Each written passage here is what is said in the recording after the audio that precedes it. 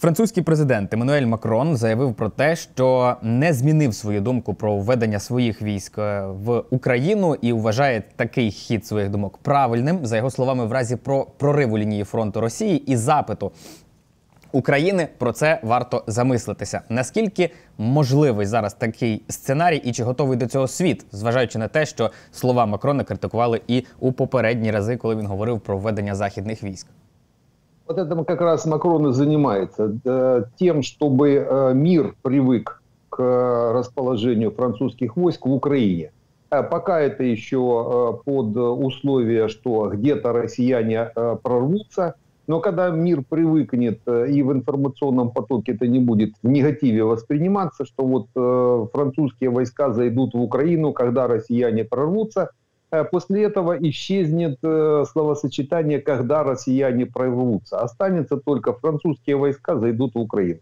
Э, это нужно, для этого нужно где-то 3-4 месяца. Ну, так работает информационный поток и сознание в том числе. 3-4 месяца, и уже Макрон не будет говорить, что если россияне прорвутся. Будет просто звучать о введении э, французских войск в Украину по запросу э, украинского правительства. В зависимости от э, той обстановки, которая будет на тот момент. Я думаю, что это будет где-то конец лета, конец лета, ну, не раньше середины, это точно где-то туда, ближе к концу лета. И локация французских войск будет связана с Румынией. То есть сначала Румыния, дальше, наверное, Одесса, вплоть до Херсона, то есть юг нашої страни. Якщо говорити за оці гіпотетичні сценарії, за які говорить Макрон, тобто в разі прориву росіянами лінії фронту, наскільки має бути глибоким цей прорив для того, щоб Україна звернулася до західних партнерів проведення військ? Тобто, з одного боку, ми розуміємо, що звертатися можна і вже, бо ситуація складна, і ми воюємо проти другої армії планети. З іншого боку, західні наші друзі і партнери вони теж якось напевно усвідомлюють, що має бути критичний момент, критична точка, після якої от має бути, скажімо так, перепрошую з тавтологію, точка неповернення, після якої рішення про введення військових має бути остаточним.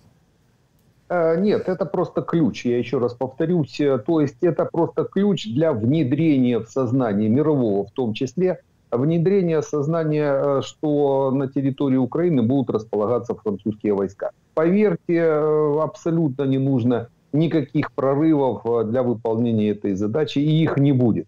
А потому нет смысла и говорить на глубину или так далее и тому подобное. А вот, а вот такой психологический ключ. Макрон очень хорошо им пользуется, э, хороший последователь психологов европейских.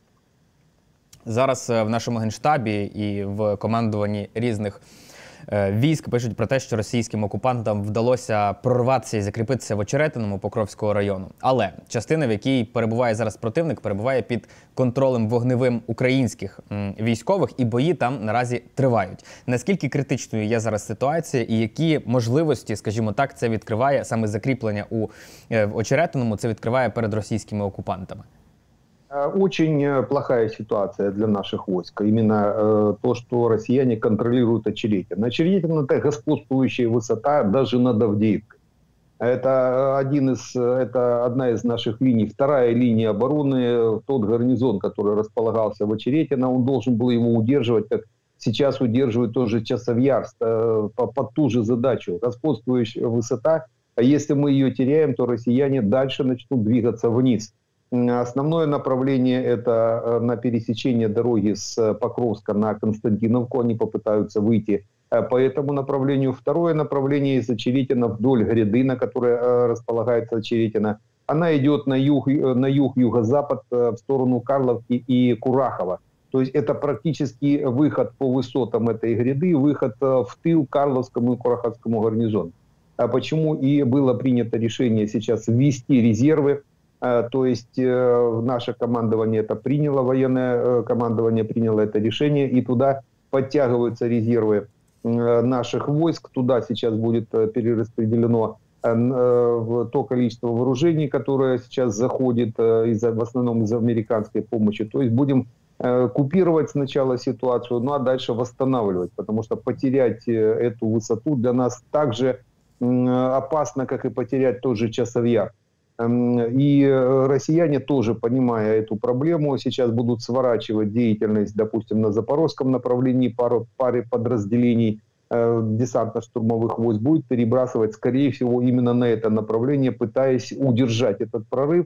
Э, у них тоже есть проблема. Дело в том, что головная колонна слишком э, вырвалась от базовых рубежей и сейчас могут получить фланговые удары. А после э, фланговых ударов, если будет серьезное наполнение их, то, в принципе, головная колонна может быть отсечена и взята в плен. Они это прекрасно понимают, почему и будут сейчас перебрасывать несколько тисяч войск на це направлення.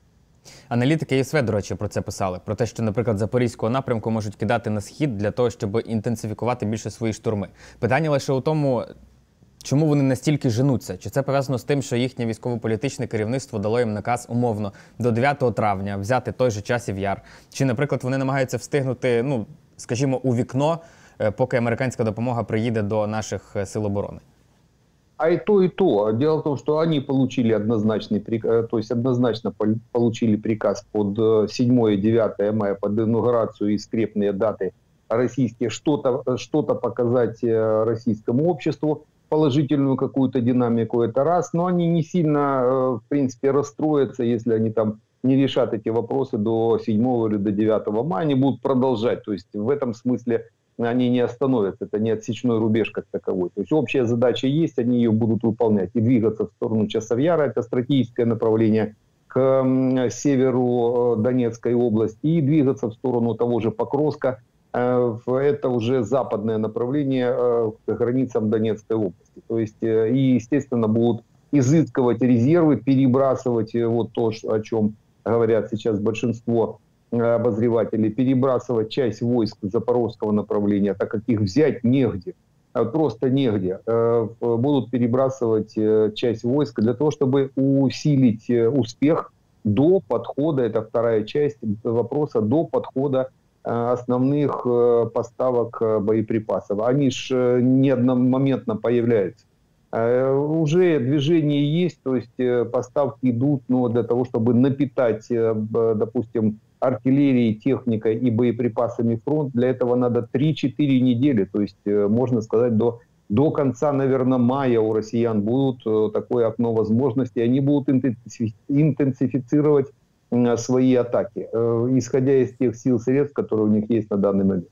І от найбільш зараз інтенсивні бойові дії тривають якраз на сході нашої країни, і також сьогодні в Генштабі повідомляли про те, що ворог продовжує штурмувати часів яр на Донеччині і навколишні населені пункти. З них вони якраз активно так намагаються сунути вперед. Де велика боротьба зараз за контроль над логістичними маршрутами. Наскільки загрозливою або критичною зараз для наших сил оборони є ситуація довкола часового яру? Вот э, выход даже из-под Очеретина э, россиян на пересечение трассы с Покровска на Константиновку, это как раз тоже борьба за логистику э, Часовьярского гарнизона, потому что э, ну, по карте можно посмотреть, основная линия как раз именно это.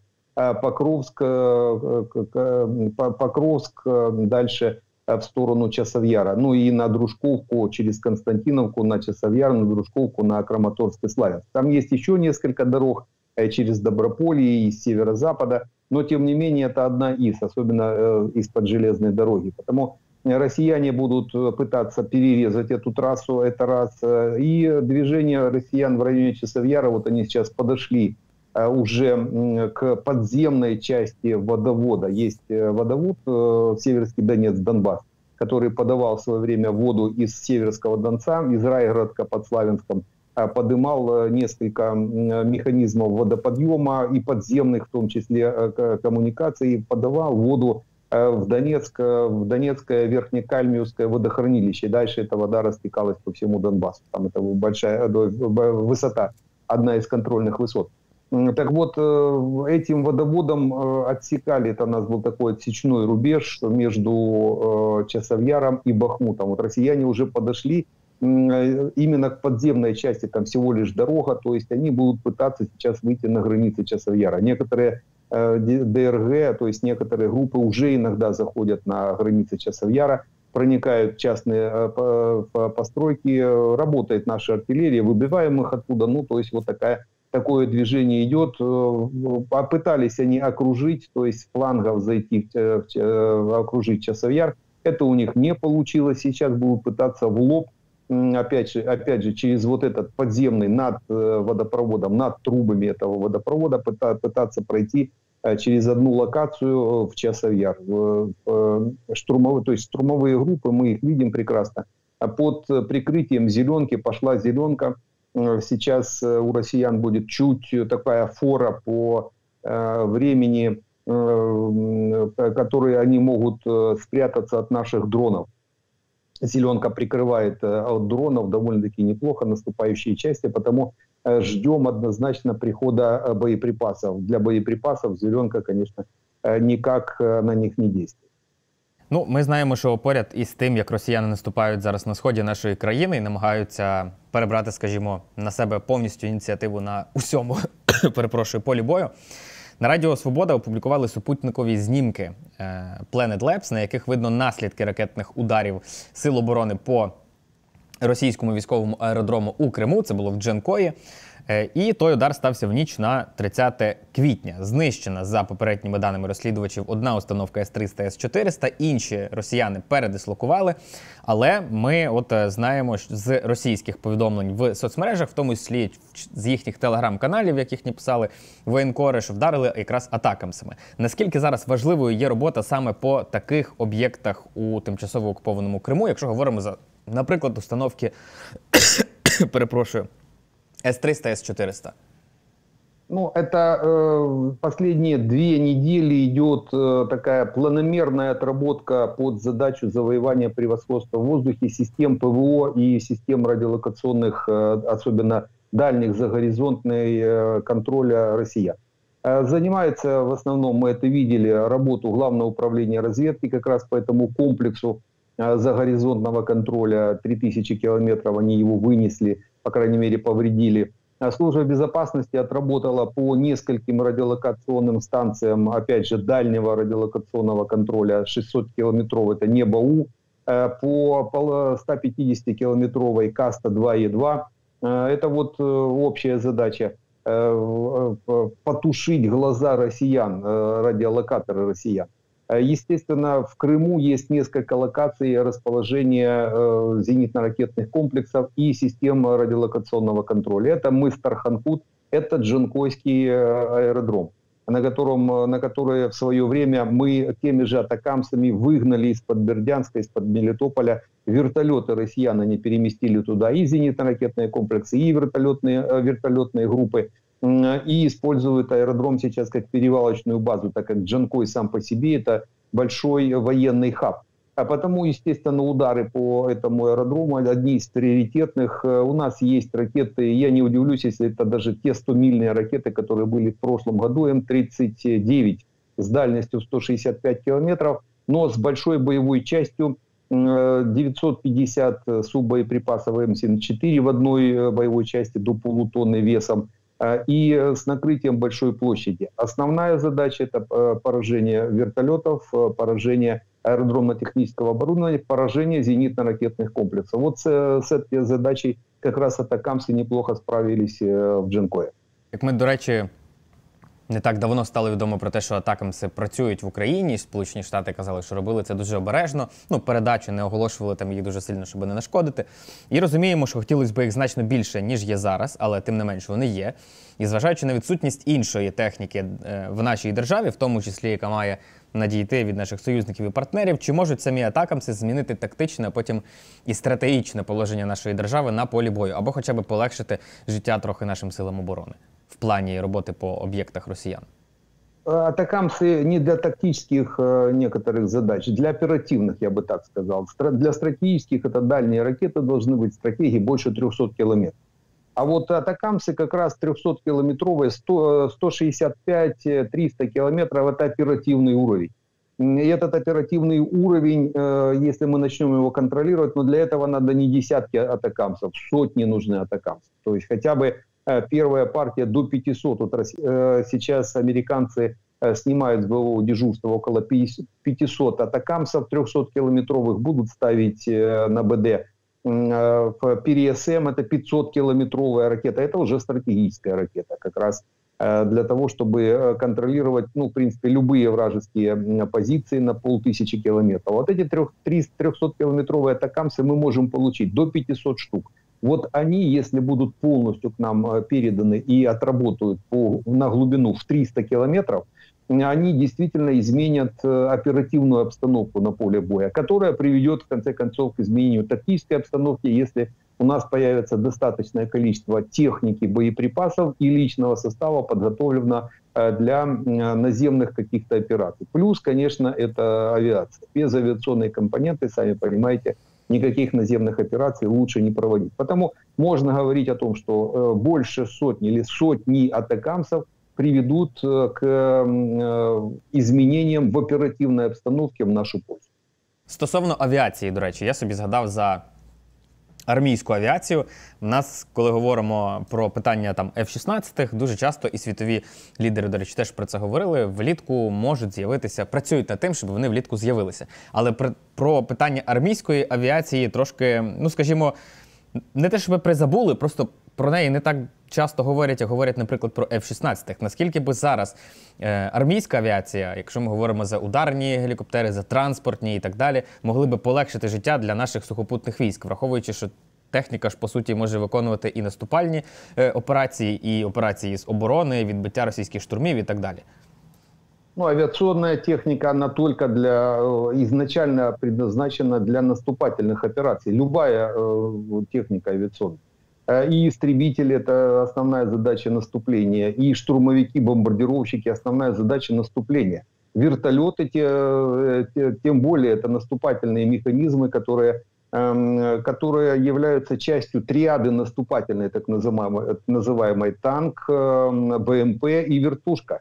И вертолет э, в свое время так сложилось, чуть полетал на вертушках на Ми-24 года полтора. Э, вертолет это душа подбитого танка, так, говори, так говорили в свое время, в наше время, еще в прошлом тысячелетии. Э, выполняет ту же задачу, что и танк, только с воздуха, имея, э, естественно, плюсом 200 км в час скорости. Скорость вертолета примерная средняя 200-250 км в час.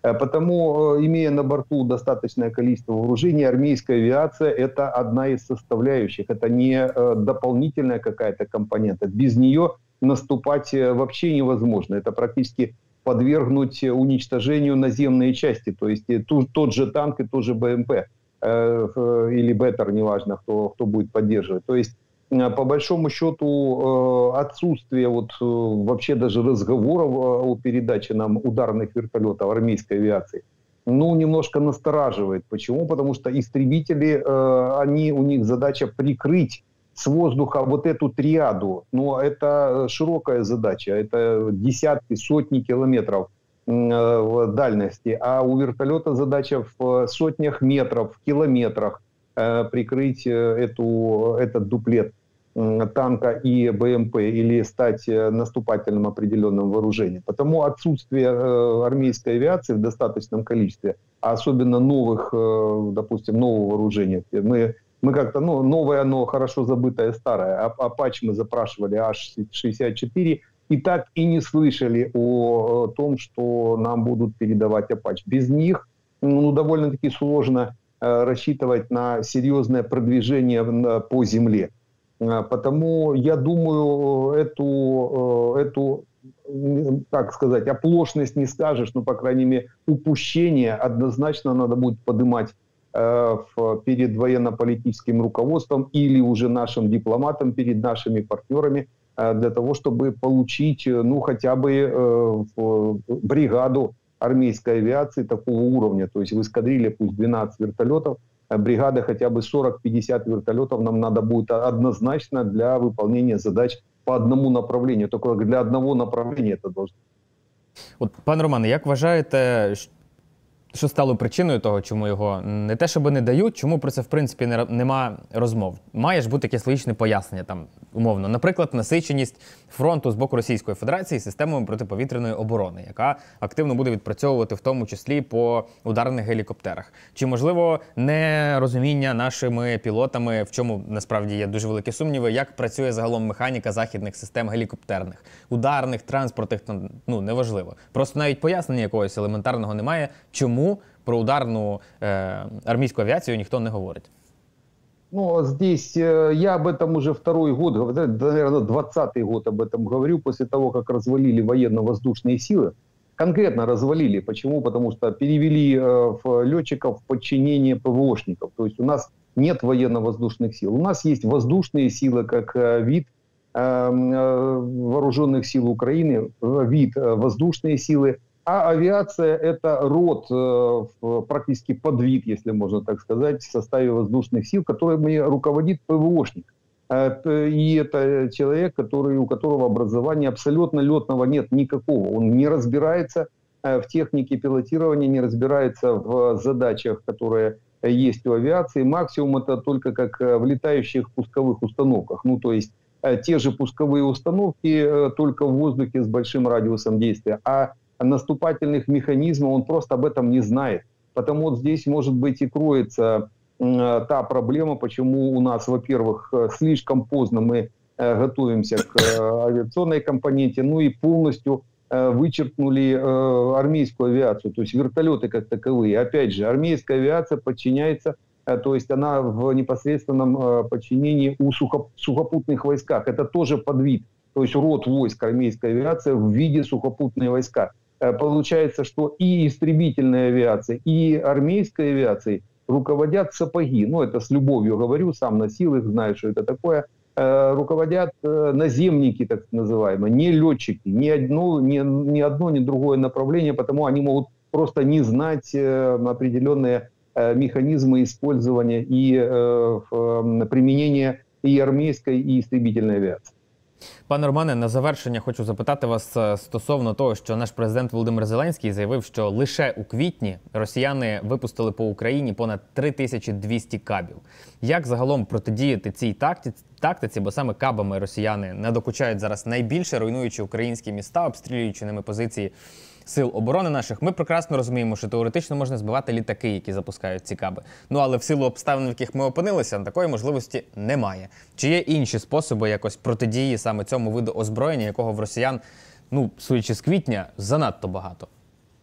Ну, КАП это, э, по, по большому счету, это ФАП-500, ну, грубо, ФАП-250, то есть это оскол, АФАП, осколочно-фугасная или фугасная авиабомба, Э, которая, э, которая закрыта, допустим, системой э, планирования. И причем эта система управления, так называемая, она связывается со спутниками. Так вот, один из механизмов, допустим, защиты от кабов – это система радиоэлектронной борьбы, которая может, то есть может прекратить связь планирующей бомбы со спутников для того, чтобы она не смогла выполнить э, боевой заход, то есть выполнить боевую задачу. Это если считать э, на, на земле, э, это можно прикрыться, по крайней мере, системами РЭП.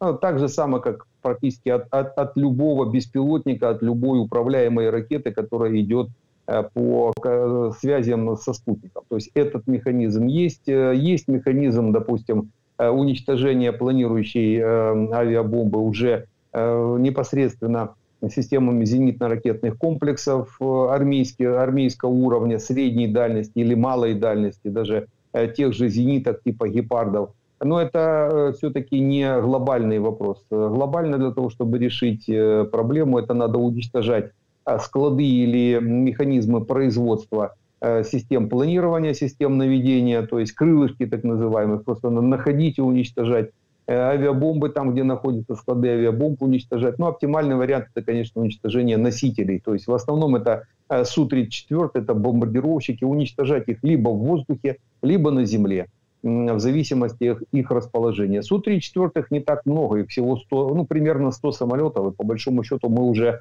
э, около двух десятков их повредили, именно Су-34. То есть есть э, механизм их уничтожения, и э, после захода, э, допустим, тех же F-16, после разворачивания системы ПВО новейших э, разработок тех же Патриотов с МТ с дальностями за 100 километров, мы, в принципе, можем эту проблему решить. А россияне почему сейчас используют действительно тысячи кабов э, в месяц? Э, Они это окно возможностей используют, пока не появятся дальние средства поражения у нас.